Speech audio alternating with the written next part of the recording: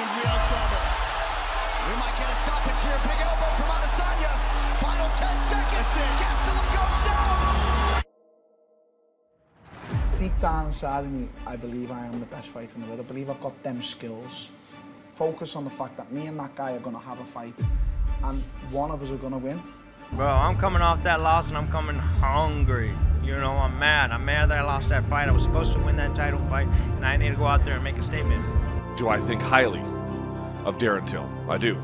Do I think highly of his abilities? I do.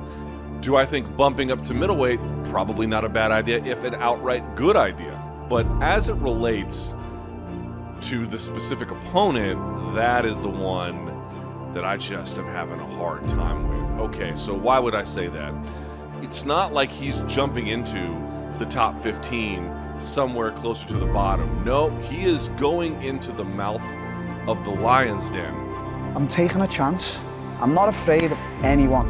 I come to fight. I don't want to submit him. I don't want to take him down and lie on him for three rounds. I want to go out there and I want to put a hole through his face.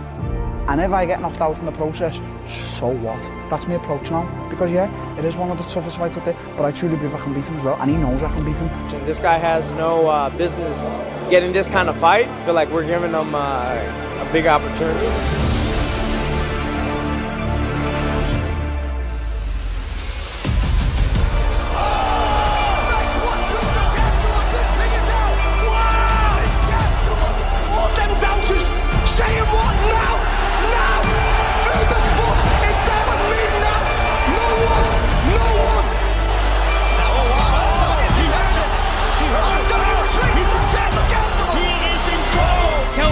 Gastelum, my goodness, what power this young man has in his hands.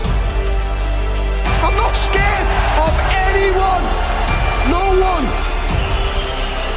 Every single middleweight has to be on notice now because in any second of the fight, Kelvin Gastelum could steal your consciousness away. I haven't beat anyone, needs to beat all these cunts! They're all getting it!